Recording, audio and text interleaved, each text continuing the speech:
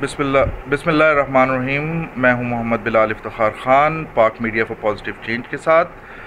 دوستو، اس سے پہلے میں آپ کے ساتھ بہت سی ایسی ویڈیوز شیئر کر چکا ہوں جس کے اندر میں نے بات کی میڈیا کی اہمیت اور کس طریقے سے اس اکیسویں صدی کے اندر ریاستیں میڈیا کو اور انفارمیشن کی سورسز کو ایز اے ویپن یوز کر رہی ہیں اور کس قدر انفارمیشن وارفیئر اس وقت فزیکل وارفیئر سے زیادہ اہمیت اختیار کر چکی ہے۔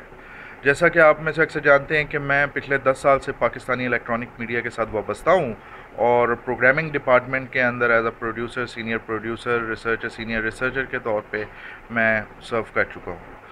اور اپنے لائف کے اندر، اپنے اس کیریئر کے اندر جو کچھ میں نے سیکھا، وہ میں نے سوچا کہ آپ دوستوں کے ساتھ شیئر کروں اور آپ کو بتاؤں کہ ایک کرنٹ افیئر پروگرام کیا ہوتا ہے۔ تو دوستو، جیسا کہ آپ کو بتایا کہ انفارمیشن ذہن سازی کا کام دیتی ہے پرسیپشنز بنانے کا کام دیتی ہے، اور پرسیپشنز جو ہیں وہ، جو ہیں ان کی، جو ہیں وہ ریالٹی سے کئی دفعہ زیادہ طاقتور ہوتی ہیں۔ تو الیکٹرانک میڈیا جو ہے، اس کا بھی یہی کام ایک نیوز جو ہے وہ وقوع پذیر ہوتی ہے، آپ تک اسے رپورٹ کیا جاتا ہے۔ یہ تو نیوز کا کام ہو گیا۔ اس کے بعد کرنٹ افیئر پروگرامز چلتے ہیں جو جن کے اوپر، ان کے اوپر جو ہے ڈسکس ہوتا ہے اور اس ڈسکشن کے ساتھ آپ کو سب کانشیسلی ایسے پیغامات دیے جاتے ہیں جس سے آپ کی پرسیپشن بنتی ہے۔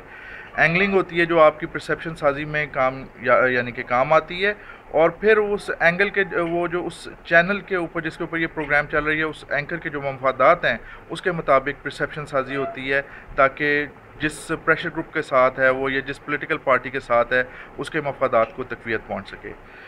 تو میں بات کروں گا آپ کے ساتھ کلاسیکل طریقہ جو سائنٹیفک طریقہ ہے، جس کے تحت جو ایک کرنٹ افیئر پروگرام ہونا چاہیے، ہوتا ہے۔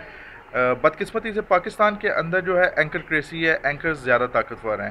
اور اس وجہ سے ایس او پیز کبھی کبھی ہی بعض بہت کم پروگرام ہیں جن کے اندر یوز ہوتے ہیں، ورنہ جو اینکر کا کہا وہی حرف آخر ہوتا ہے۔ میری خوش قسمتی یہ ہے کہ میں فہد حسین صاحب جو کہ ڈائریکٹر نیوز ہیں ایکسپریس نیوز کے، ان کے ساتھ کام کرنے کا مجھے اتفاق ہوا اور میں سمجھتا ہوں کہ از دا بیسٹ پروفیشنل بندہ جس سے مجھے بہت سیکھنے کو ملا۔ جو فہد حسین صاحب سے میں نے بیسک چیز سیکھی وہ یہ تھی کہ ہم لوگوں کو انہوں نے ایس او پیز دیے اور ایس او پیز کے اوپر ہم سے عمل کروایا، ہمیں اس پہ ٹرین کیا اور اس کا فائدہ یہ ہے کہ آج میں جس چینل پہ بھی گیا، اللہ کا شکر ہے کہ میرا سر بلندی رہا۔ اچھا اب ہوتا کیا تھا کہ میں آپ کو اپنا تجربہ بتاتا ہوں کہ اسے ہمارے بارہ بجے جو ہے ایڈیٹوریل میٹنگ ہوتی تھی۔ فات صاحب کا حکم تھا کہ ہر بندہ جو ہے نا وہ سٹوریز جو ہے نا ڈفرینٹ اخبارات میں سے نکال کے آئے گا۔ ہم ایڈیٹوریل میٹنگ میں آتے تھے، ہر بندہ اخبارات، چاہے وہ پروڈکشن سائٹ کا ہو، چاہے وہ کنٹینٹ سائٹ کا وہ آتا تھا۔ وہ سٹوریز کے اوپر ڈسکس کرتے تھے ہم وہاں پہ اور بہت ہی زیادہ کرٹیکلی ہم ڈسکس کرتے تھے۔ وہاں سے پھر اینگلز نکلتے تھے۔ اینگلز نکالنے کے بعد آپ کیا کرتے ہیں کہ اس کے اندر آپ گیسٹ وہاں پہ ڈیسائیڈ ہوتے ہیں کہ کس بندے سے آپ کیا کنٹینٹ نکالیں گے۔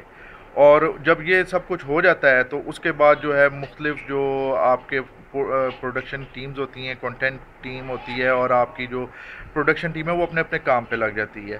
اور یہ جو انفارمیشن جو ہے وہ لینی ہوتی ہے اسکرپٹنگ پیکیجنگ وغیرہ جو کا اسکرپٹ لکھنا جو ہے، یہ کانٹینٹ ٹیم کا کام ہوتا ہے۔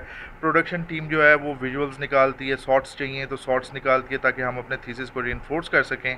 اس کے علاوہ جو ہے، اگر کوئی گرافکس چاہیے تو گرافکس پروڈکشن ٹیم کی ذمہ داری ہے کہ وہ کریٹیو سے بنوائے۔ اس کے علاوہ کوارڈینیشن گیسٹ کوارڈینیشن کی جاتی ہے۔ یہ تو پہلی ویڈیو تھی۔ اس کے بعد ہم نیکسٹ پارٹ کے اندر میں ہم بات کریں گے کہ جو کنٹینٹ ہے، اسے کس طریقے سے ڈیولپ کیا جاتا ہے اور کیا سورسز ہوتی ہیں انفارمیشن کو کس طریقے سے پروسیس کیا جاتا ہے، کس طریقے سے اس کا انالیسس کیا جاتا ہے اور کس طریقے سے اس کی اسکرپٹنگ پیکیجنگ کر کے آگے دی جاتی ہے۔ تو ہوپ آپ کو یہ پسند آئی ہوگی۔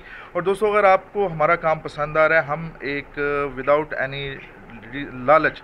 ہم چاہتے ہیں کہ ہم اپنے ملک کی بہتری کے لیے کام کریں۔ ہم لوگ جو ہیں پاک میڈیا فور پازیٹیو چینج کے اندر جو لوگ موجود ہیں، ہم سارے، ہم میں سے اکثریت جو ہے صحافیوں کی ہے۔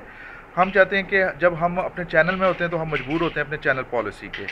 تو یہ ہماری ویب سائٹ جو ہے اس کے اندر ہم کسی کی پالیسی کے مجبور نہیں، اس کی پالیسی صرف یہ ایک ہے کہ پاکستان اور صرف پاکستان۔ تو نظریہ پاکستان اور پاکستان۔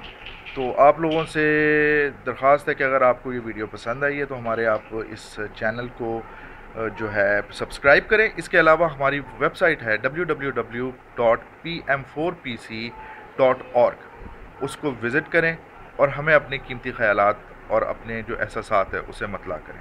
بہت شکریہ۔ السلام علیکم۔